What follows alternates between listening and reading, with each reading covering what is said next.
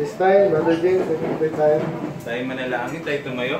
Ikaw yung manalangin. Ayun Manalangin po tayo, Panginoon. Maraming salamat, Panginoon, muli sa araw na ito. Panginoon, panahon ng pag-aaral, Panginoon yung salita. Maraming salamat, Panginoon, sa mga opportunities na ganito. We grab this opportunity, Panginoon, para lalo pa namin kayo makilala at lalo pa namin maihayag ngayon sa ibang tao ginawa mo. Maraming pong salamat Panginoon sa mga kaluluwa na nandito. Uh, patuloy na ingatan Panginoon yung mga parating pa. Gabayan Panginoon si Pastor sa pangunguna sa aming pag-aaral sa umagang sa pangalan ng Panginoong Isus amin. Amen. Okay, magandang umaga po ulit sa lahat. Amen. Morning. Uh, sana nakakain na kayo, no? so kailangan niyan. Bawal ang toke na. Diyan ba rin yung kape? Yung kape dyan ha. Para ano. So again, uh, good morning po sa lahat. Uh, today is April 14, Thursday. Sa kanila, ano ngayon, holiday sa atin. Usual. Gamitin natin yung ano, time para mag So ito pong ating seminar. Title po nito is Without Excuse without excuse if junk record lang. Peter, paabot nga din ang uh, yung cellphone.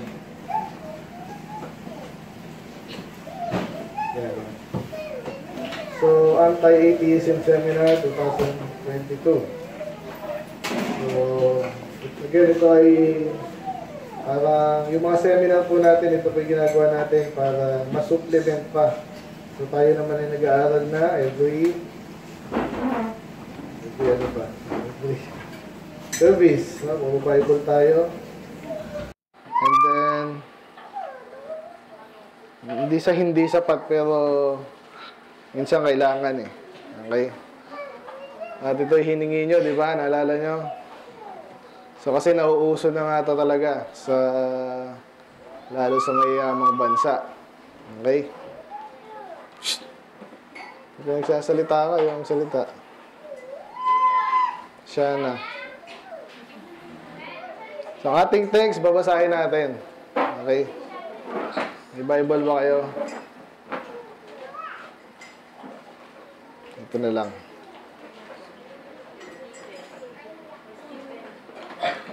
Basahin natin. Ang ating pinaka-text po eh, dito sa Romans 1. Very famous Nagbasahin na natin na ah, Bisa natin sa 18, tapusin natin hanggang matapos. Brad, kumain ka na. Baka gusto mo ulit kumain. Okay, pakibasa po. Ready? Ganito gagawin natin ha. Babae, lalaki, babae, lalaki. Ayan, hanggang matapos. Ready, go. Four. Babae muna. Ready, go. For the wrath of God is revealed from heaven against all ungodliness and unrighteousness of men who hold the truth in unrighteousness. Lape. Because that which may be known of God is manifest in them, for God has showed it unto them. Babae. For the invisible things of Him from the creation of the world are clearly seen being understood by the things that are made, even His eternal power and Godhead, so that they are without excuse. Because that when they knew God, they glorified Him not as God, neither were thankful, but became vain in their imaginations, and their foolish heart was darkened. Bye. Prophesying themselves to be wise, they became fools. And changed the glory of uncorruptible God into an image like to corruptible men, and to birds, and four-footed beasts, and creeping things. Bye. Wherefore God also gave them up to uncleanness through the lusts of their own hearts to dishonor their own bodies between themselves.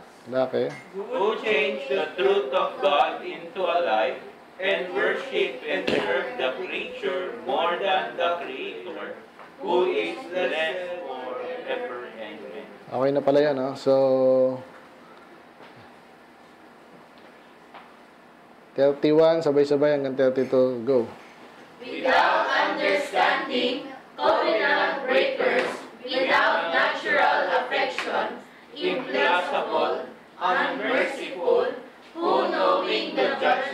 God, that they which commit such things are worthy of death, not only do the same, but have pleasure in them that do them.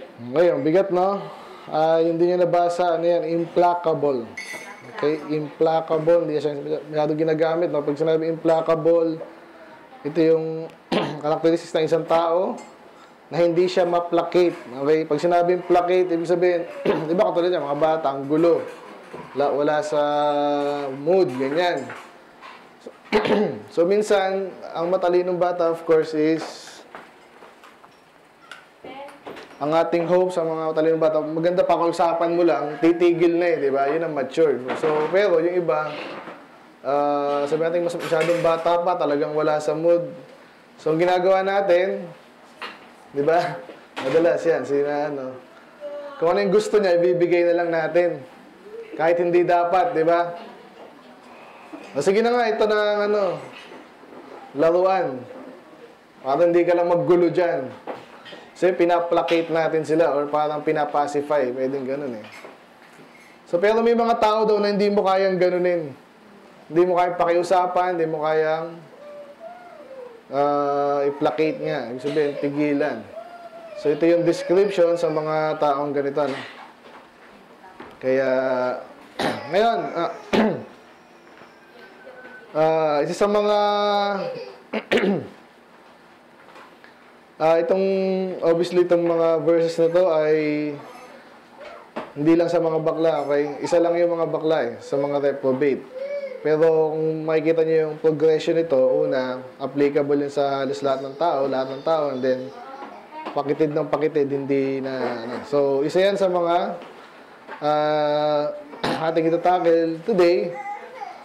At especially itong dalawang verse na to. Okay? Eh sabi dito, for the invisible things of Him from the creation of the world. May mga bagay na hindi natin nakikita ng mata, pero kitang-kita. Ano yun? Meron bang ganon? Kasi hindi na, ang tagal na nangyari nun eh. Yun actually pag-aaral natin ngayon.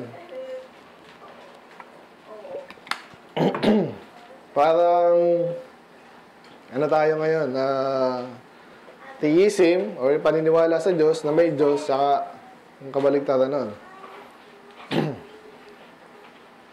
okay? So nakita niyo ba yun? Invisible things are clearly seen. Ang tinatawag na ano, ah, uh, ang tawag doon. Parang contradiction. Oxymoron. Okay?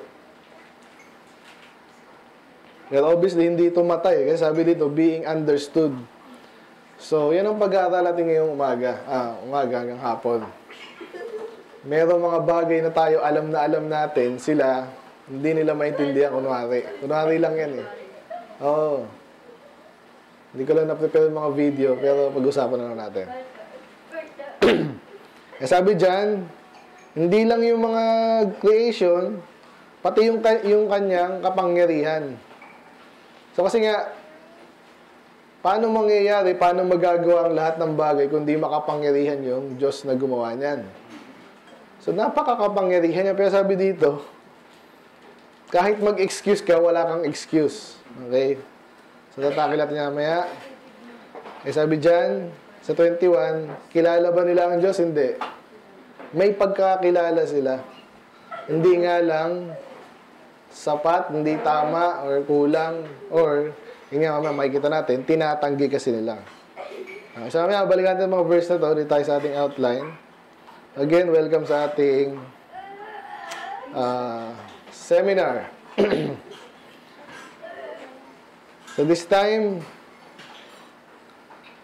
bakit importante ito? Bakit mga importanteng aralin natin to, Jacin? Pastor, ano man sa ating 80s dito, naarali pa natin yan. Diba? Eh, malinaw pala yun. Eh. Bakit pa pag-aaralan? Ganito po yan kasi sa panahon natin ngayon, una kaya nga hiniling nyo to eh. Kasi, ah, uh, yan, si si Ma'am tuloy, eh, si Ma'am Jamie. May kilala, sino may kilala dito 80s? Hindi na iniwala sa Diyos. Lahat kayo? Sino ba?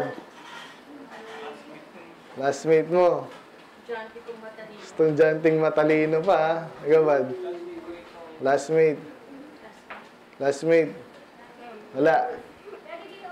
Wala pa. Sino nagtaas mo kanina? Sino kilala mo? Teacher mo? Daddy, daddy, dito ka na. Dito Ah, anong subject? Math. Hmm, may teacher din ako. Na ATS. Okay, so yan. So, tumadami na. Nung mga unang panahon po, bihira po yan sa Pilipinas. Ang nauna dyan, yung mga mayamang bansa, tulad ng Europe, Then, syempre, ano yan, sa US. Then, actually, meron din mga, ano, sa Japan.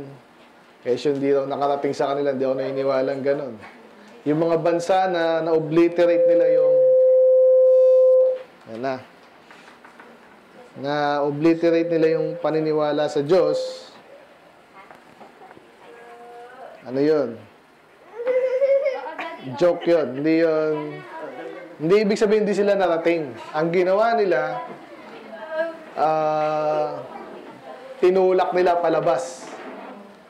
Ang katotohanan, ang gospel, eh, sa India ganon, sa Japan, Korea, marami sa Asia, Southeast Asia. Narating po yan ng mga missionary, yung mga Pilipinas, narating nito before pa magkaroon ng Catholicism. So, inaral natin yung sa ating seminar naman sa church, no? So, ngayon, tuloy po yung laban. Ah... Uh, ang nangyayari, bakit importante ito? Kasi nga, inaatake yung ating, pag sinabing basic tenets of our faith, ibig sabihin yung pinaka, pinaka, pinaka basic, kasi nga, existence pa lang ng Diyos. May Diyos ba? Kung wala ang Diyos, eh wala ding kaligtasan, wala ding langit, impyerno, walang, walang judgment, walang mabuti at masama. Kasi sino magsasabi ng mabuti at masama kung wala naman Diyos? So pag ito ang nagnatalo, yung mga, lalo yung mga bata, naloko sila, ay wala naman natin Diyos.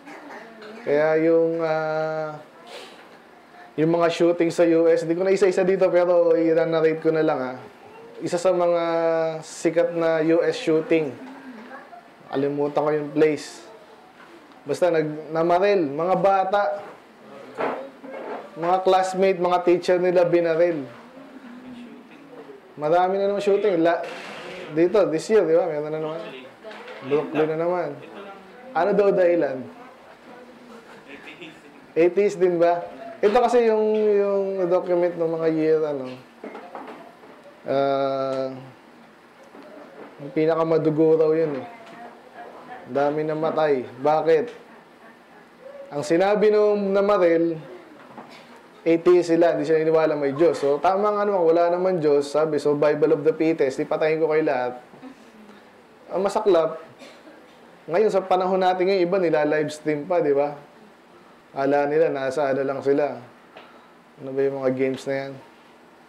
COD. Ha? Ano ang COD? Call of Duty. Hindi, isa, inauna doon. Yung Counter-Strike, di ba? CS. Ganun lang sila. Banda ko rin, nagpakamatay din. So, mga baliw. So, mamaya, aralin din natin yan. Pero, ina-attack nila, papatay nila, o yaw, niniwala ka sa Diyos. Opo, pff. e buhay pa. ah, niwala ka pa sa Diyos. Oo eh, oh, pa. Patay. So nangyayari yan. Sa Pilipinas, mahal ang baril, eh, kaya bihira yan. Kaya may mga murang nakakuha. So, hindi basta-basta to. Pag dito ka na loko, loko-loko talaga. Okay? At yung pinakamatinding kasalanan pwede mong gawin. Kaya, yeah, importante ito inaaral natin, okay? So yan, sinasabi ko dito, bukod sa naihinder yung gospel, kasi yun nga, katulad pag mag-soul winning tayo, gumpisa ka pa lang, di excited ka, di ba? Na-expect mo kahit ng mga tao hindi ligtas, at least naniniwala may Diyos. Eh paano kung sabihin nila, may Diyos ba? Patay. Sabi ko, saan ako mag-umpisa dito? so yung yung gospel ay nahihinder, sabihin na ipigilan ang gusto. Natitake na back tayo, ha? Anong gagawin ko dito? Hindi naniniwala, may Diyos. Wala daw Diyos.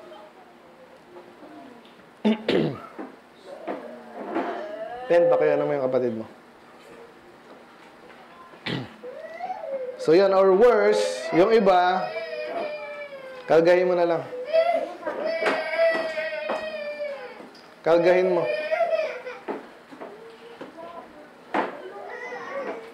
So hindi lang na, na ano yung gospel, nasisira mismo yung buhay. Alam niyo naman yung ibang tao, 'di ba, kahit hindi naniniwala sa Baptist, sa Bible or sa Christianity, kahit pa paano hindi naman 'yan, hindi naman niya uubusin yung mga kapitbahay niya.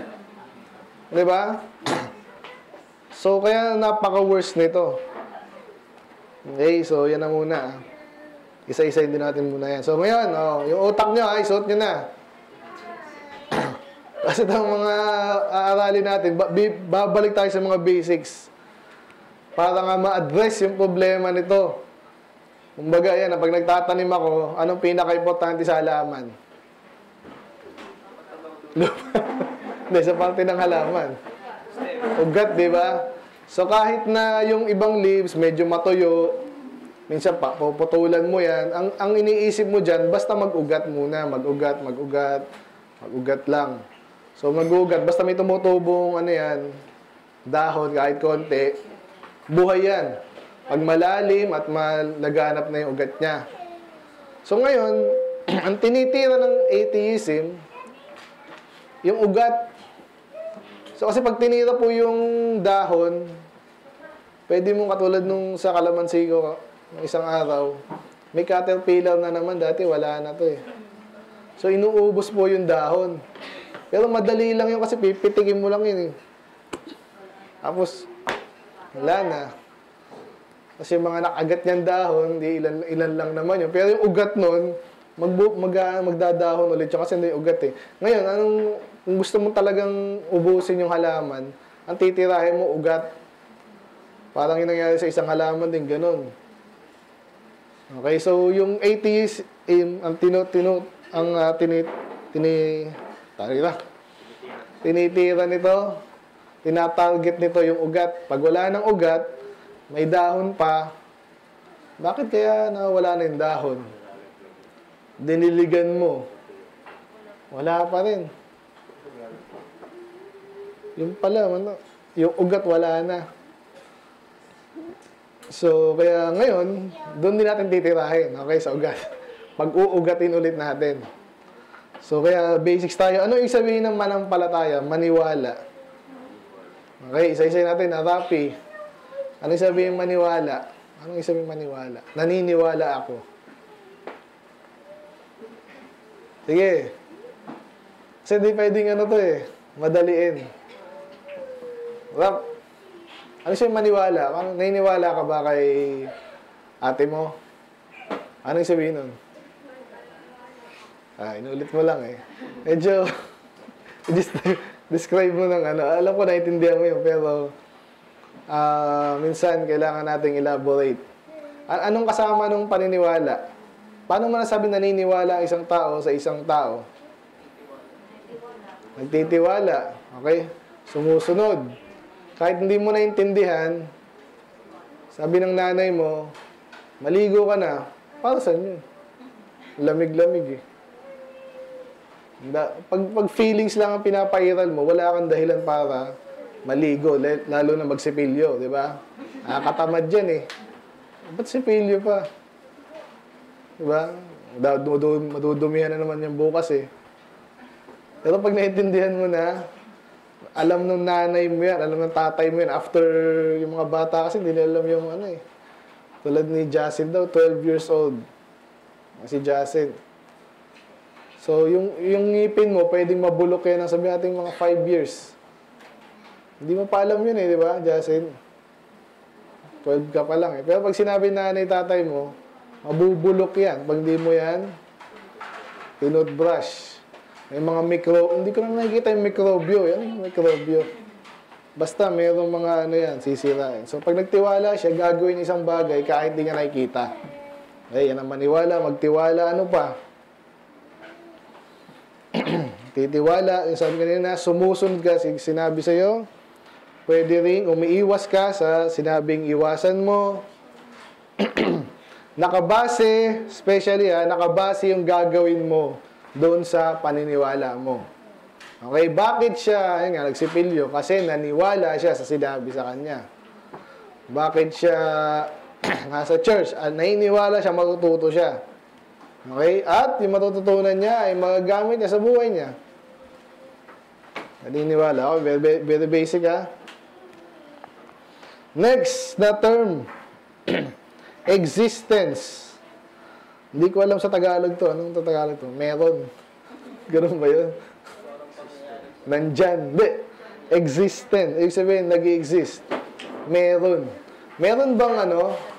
Meron bang kulay pink na ulap? Minsan. Eh. Meron bang pink na sky? Pink sky? Meron din? Nagabi? Reflection siguro ng ano yun. Meron ba lumilipad na aso? Sa cartoons, meron. So, pag sinabing existence, meron ba? Okay? So, So, ang obvious lang ating pag-usapan, meron bang Diyos? Di ba? Pag walang Diyos, walang gumawa, sinong gumawa sa nilika? Sarili niya. Hindi pwede yun. Kahit, kahit hindi ka pa masyadong matanda, wala ka pa siguradong nakakitang ganun. Na kunwari, cellphone, kanina wala. Yung cellphone, gumawa ng sariling cellphone. Siya nga yung ginawa eh, di ba? may naobserbahan ba, eh, pastor, mayroon nang alam yung halaman. Hindi rin. Ako, naghahalaman ako eh. May pinanggalingan yun. Either buto, at yung buto, nadidiligan, naaarawan, saka nagkaka- lumalaki. Pero hindi nang galing yung sa wala. Okay? Establish fact yan sa science. Okay? Ano yung mga bagay na ano, hindi tayo sigurado kung meron? May ustisya ba sa Pilipinas? Lalim na yan. Ano ba? May matino bang kandidato ngayon? Di ba? Meron or wala eh. Ganun yun. Totoo bang may COVID? Gandang tanong yan. Hindi rin natin alam eh, no? Si parang meron, parang wala. At ang mga balita ngayon, talagang nakalain sila. Napansin niyo ba? after election, ah, hindi, after election, ano sabi na? After two months daw, posibleng magka-surge. Hindi, baka magka-surge. Ay, sigurado magkaka-surge. Niloloko tayo. Kasi gumana sa iba ng dalawang taon yun eh. Baka gumana ulit ng another year. So, meron ba? Wala. Hindi Naintindihan mga bata, existence. Kasi paulit-ulitin ko mamaya ang gagamitin tong term na to, ha? Pag sinabing exist, meron. Pag non-existent, wala. So next is evidence. Ano yung evidence? Okay, lahat ng pinaniniwalaan natin ngayon ay kailangan may ebidensya. Ano yung mga nabanggit kanina? Yung sangipin. Sangipin na lang tayo para maintindihan mga bata. Ah, magsipilyo kayo. Pag nagbinata dalaga kayo, magsisisi kayo pag di nyo inalagaan yung ipin nyo. Okay? meron bang ano, may, may ebidensya ba na pag hindi ako nagsipilyo, eh, masisira yung ipon ko? Meron ba? Saan? Okay, si Julia. Ah, Jul Juliana. Nakakita ka na ba ng ano? Nasirang ngipin dahil di sinipilyo? Saan? Saan? Yan. Hindi, kasi bata pa eh. Madalas ay hindi sa iba, di ba? Sasabihin kaya magulang mo, eh, nakita mo ba anak yung ipin ko? Ayan. Ayan, gagawin mo yan, di ba?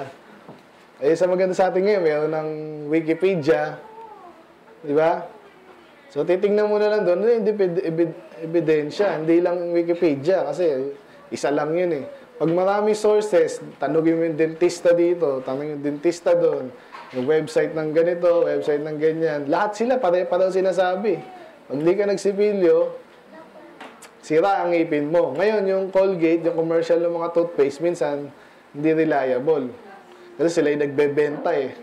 So, kaya mag-iisip ka. Pero minsan, ano din yun, reliable. Kasi nga, kaya may business sila at patuloy yung business sila kasi totoo na pag di ka nag-toothbrush nag-toothpaste, daw dati walang toothpaste, ikaw ay may ang ngipin mo. Okay? Malinaw, ebidensya, ano pa? so, madalas ginagamit ebidensya, pag may hindi ka nakita at nangyari yung krimen, kunwari, di ba? Kunwari, si, si, uh, ano ba?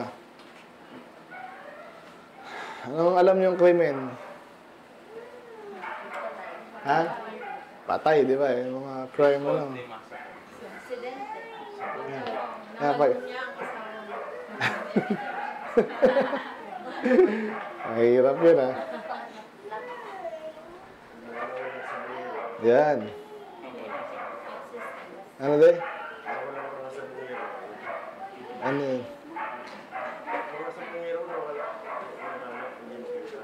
Ba't mawala? Basta, ano eh. May nangyari ba ka lang? Pinatay kasi.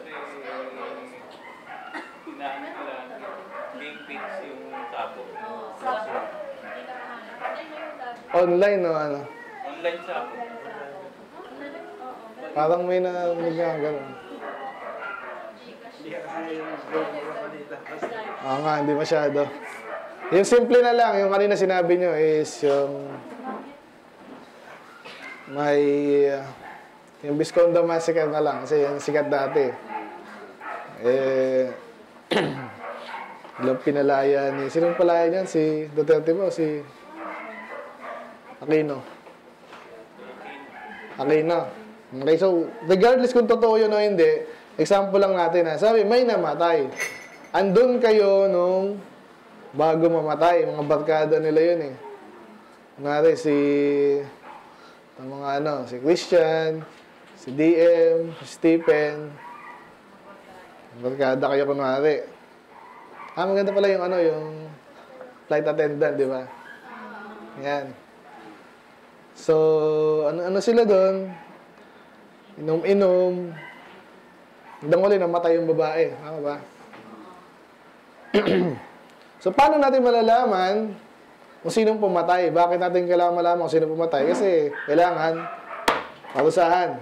Okay, so paano malalaman? So, may mga CCTV, may mga, dis, uh, may mga testimony, yung mga tao, at yung mismong uh, kasama niya noon, mga magulang niya, ganyan-ganyan.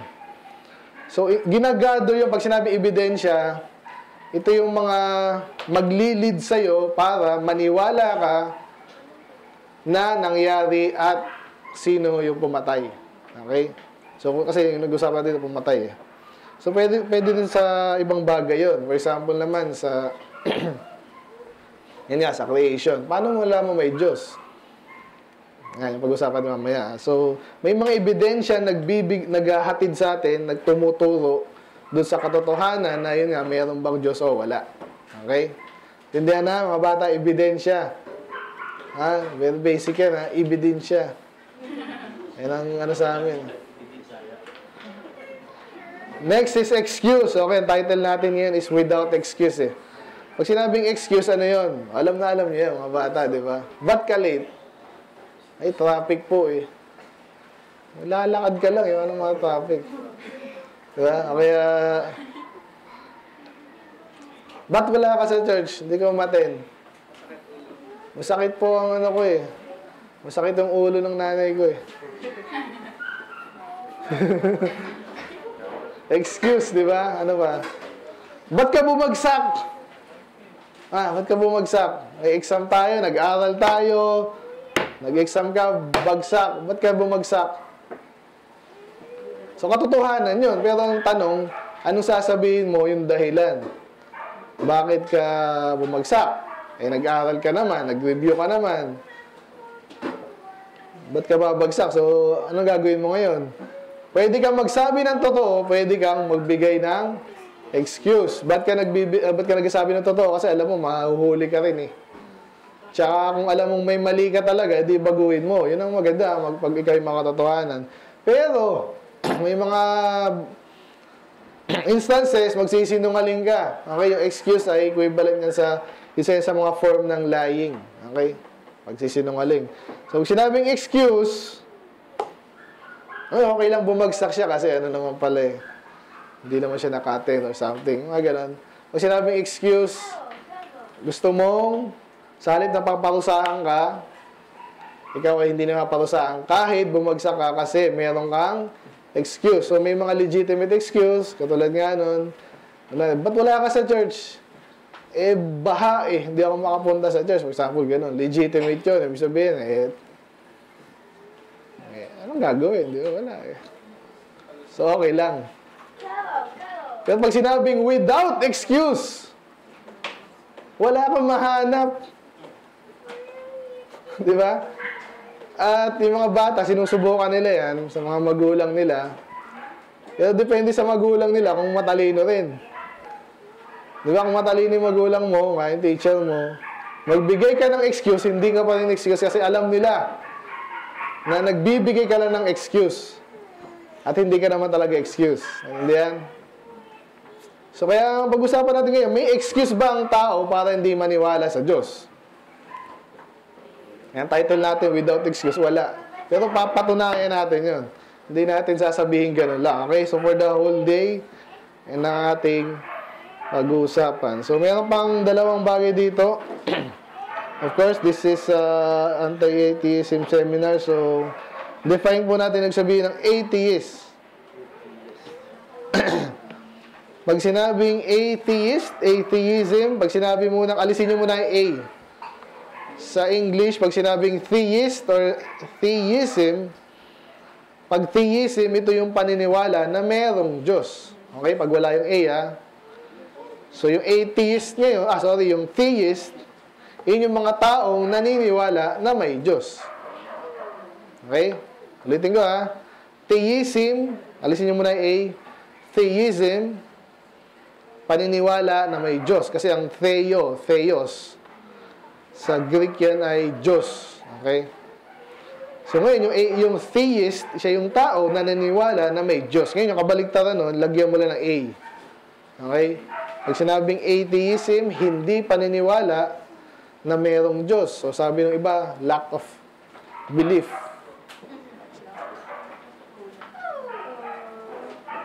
Yun ang definition sa dictionary. Hindi nilang hindi naniwala. Eh, no? So, yung atheist ngayon, siya yung taong hindi naniniwala na may Diyos. Okay, malinaw na? So, kahit yan lang naintindihan nyo ngayon, pwede na umuwi. ngayon, hindi ko na dinowing lahat dito, pero isa sa mga malaking ko na, ito yung atheist. Ako na, mayroong atheist sa San Mateo na sa isang daang tao. Hindi lahat yan nasabing atheist sila. Okay, merong, may spectrum yun eh. Ibig sabihin, ako medyo naniniwala ako sa Diyos, medyo hindi. Dito yon. Ito, sobrang hindi naniniwala ito, naniniwala. Ngayon, meron dito sa halos nasa gitna na, sabi niya, hindi lang ako sigurado.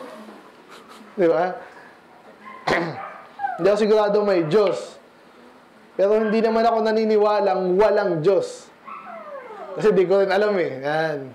So, tawag po dyan, mga agnostic. Okay? So, hindi ko alam eh. Meron ba? Hindi ko ata alam. Wala akong pakialam. Yan. Agnostic. ano ulit yung agnostic? Naniniwala ba yung may Diyos? Hindi. Naniniwala ba yun na walang Diyos? Duda siya, di ba? Pero nakakiling po yan sa walang Diyos.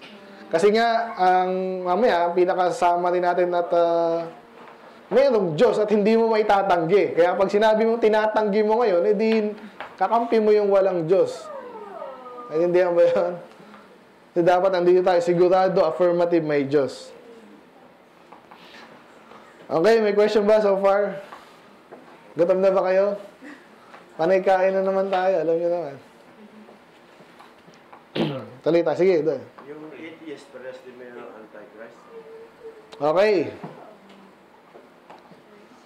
Anong kinalaman ng Antichrist sa ATA? So, obviously, ang ATA, ang... Ang hirap ah.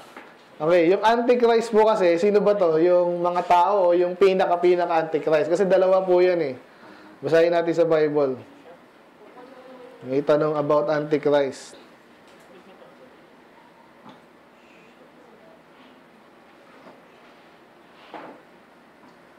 Para lang malinaw, no? Okay, so first John. Makibasa nyo, ready, go. Little children, it is the last time, and as ye have heard the Antichrist shall come, even now are there many Antichrists, whereby we know that it is the last time. Okay, so sabi last time, ito yung mga dulo na, no? So, pero napansin nyo ba dyan, dalawa pala yung sinasabi niya. May, alam nyo na ang Antichrist ay darating.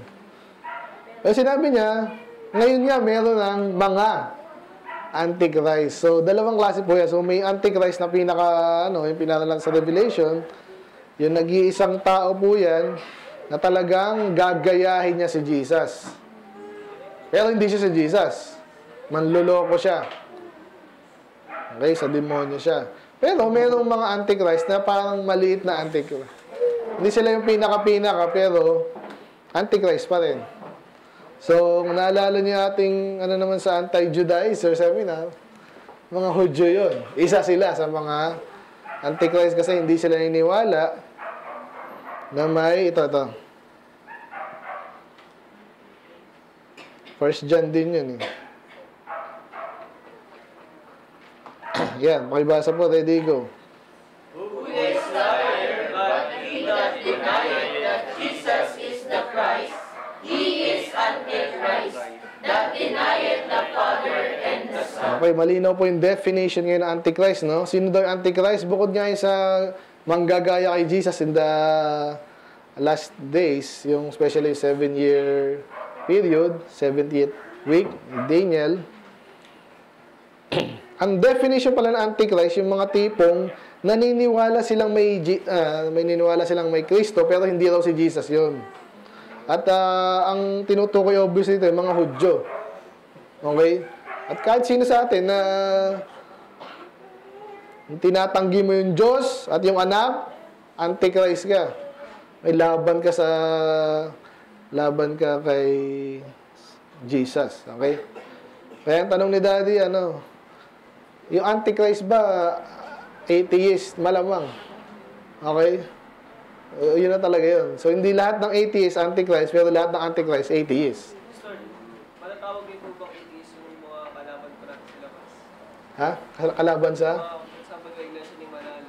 Iglesia ni Manalo, atheist. Hindi. Kasi naniniwala sila kahit pa paano na may Diyos at may Christianity. Hindi siya atheist. Pero mali lang Mali lang. Okay, yung mga leader nila pwede.